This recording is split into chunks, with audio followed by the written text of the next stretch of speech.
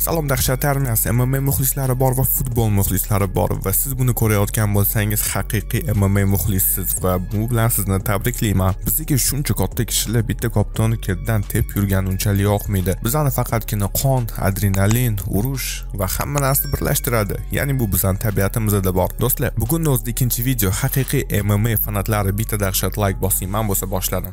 Video 1xbet kompaniyasi hamkorligida tayyorlandi. Siz bu yerda topoviy janglar, matchlarda g'olibingizni aniqlashingiz mumkin. Pastda описаниеda silka bor, o'sha orqali o'ting yoki xohlagan joyingizda yangi registratsiya qilib promokod joyiga dahshat MMA deb bizning promokodni yozsangiz, eksklyuziv tariqasida birinchi pul to'ldirganingizdan keyin sizga bonus tariqasida 2 million 600 ming so'm beriladi. Yamblakhovich o'zini Magomed Ankalayev bilan jangidan keyin Ankalayev g'olib bo'lgani haqida gapirgandi va kamarni unga berish haqida aytgandi, ammo uni fikri o'zgardi. Kelinglar bir narsa aniqlashtiraman. Birinchidan men rostdan ham bu jang yomon bo'ldi deb o'ylamayman. Ikkinchidan men g'olib bo'lganimni his qilmadim, ammo mag'lub bo'lganimni ham his qilmadim. Durang adolatli edi va oxirgi natijada bir bola yig'ladi, ya'ni travmalarini pesh qilib, ikkinchisi bo'lsa, unda chest hali muhim ekanligini ko'rsatdi. Muxlislar buni ko'rganidan xursandman deb aytib o'tgan blaxovich jangdan bir ikki kun o'tgandan keyin.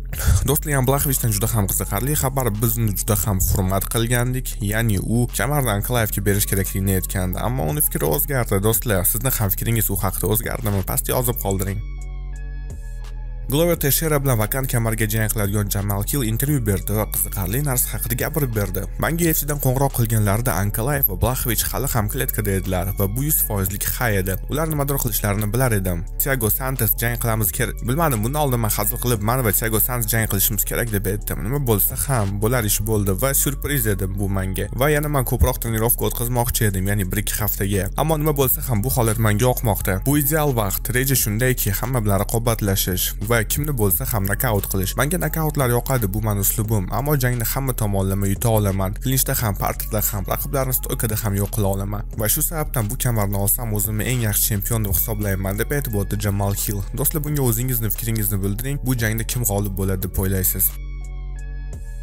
Endilikda juda ham jiddiy xabar UFC jangchilari Kamaru Usman, Genri Cejudo va Justin Gage Amerika davlat departamenti bilan ularda muammo bo'lmoqda. Ya'ni ular yaqinda Chechen Respublikasida bo'lganlar. Jangchilar Ramzan Kadirovning o'g'illaridan birini tug'ilgan kuniga taklif qilishgan, chunki ular UFCning katta muxlisi va ularga kelishingizga juda ham katta pul berilgani bu aniq. Bundan tashqari jangchilar qurol bilan otadigan joyga ham bordilar va aynan shu narsa Amerika xavfsizlik xizmatini xavotirga tushirdi. Ya'ni qanday maqsadda ular u yerda bu ishni qilishmoqda. Justin Gage bo'lsa bunga darrov bahona topdi. Menga hech bo'lmasa siz gapirayotgan odam bilan rasm yoki video ko'rsating hamma u yerda bo'ldim. San hamma ruslar shunday demoqchimisan. Man yosh bolam tug'ilgan kunda edim va ha man quroldan otishni yaxshi ko'raman deb aytib o'tdi Jason Geji do'stlar siyosatga aralashmaymiz qisqa qilib aytganda bu ikki davlat o'rtasida ozgincha muammo bor. Ya'ni chechen respublikasi va amerika shu sababdan e, jangchilarni siquvga olinmoqda bundan tashqari ular qurol bilan otishgan va bu narsa ham bunga sabab bo'la oladi. Do'stlar bunga o'zingizni fikringizni bildiring. Ishonamanki ularda hammasi yaxshi bo'ladi.